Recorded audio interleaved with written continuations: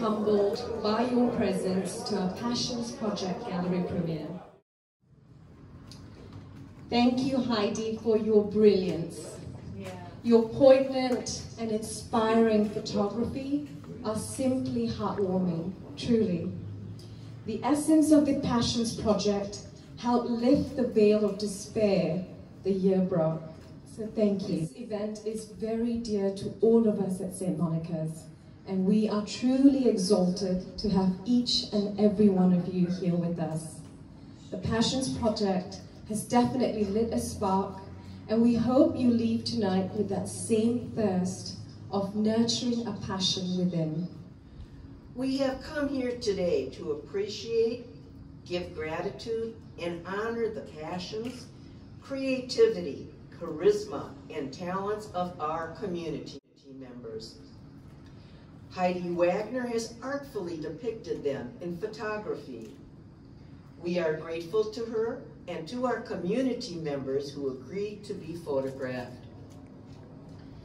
We also want to acknowledge our members whose photos are here on these walls, but who are no longer with us. I feel slightly speechless, uh, but I'm going to rally. It's truly an honor. My name is Heidi Wagner, and I'm the photographer and creator of the Passions Project. Um, for when I started the Passions Project is in 2011, and I was working in a retirement community at that time. And what I recognized very quickly is that people don't know what working with older adults and what aging truly looks like.